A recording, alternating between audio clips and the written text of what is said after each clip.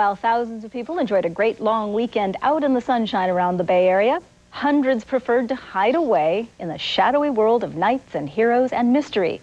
Thuy Vu takes us inside a Bay marathon Bay Area convention known as DunDraCon. You need an imagination as tough as a metal armor to get through this convention. It started last Friday at the Marriott Hotel in San Ramon, and the role-playing goes on 24 hours a day for those looking for a shield from boredom. If dressing up like a medieval knight isn't your thing, how about Victorian clothing? Now in its 20th year, the convention has come a long way from the original role-playing game it was based on, Dungeons and Dragons. Convention chair Arthur Prine says a fantasy world could be anything you want. Now, this world could be a fantasy world with dragons and trolls and ogres and that sort of things. It could be a superhero world with like Superman, Batman, and that sort of things.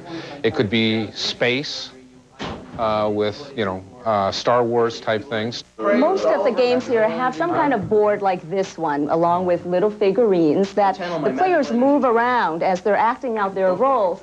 And it helps them to visualize the battles they're fighting against fantasy warlords and other evil forces.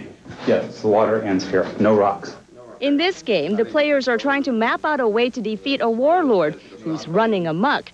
They've been here for five hours and probably won't finish this game for several more hours.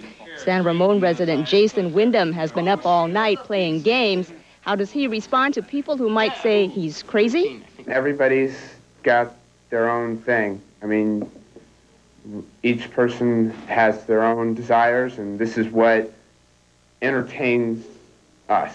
Wyndham's been coming to DunDraCon for the last four years and says he'll be back next year.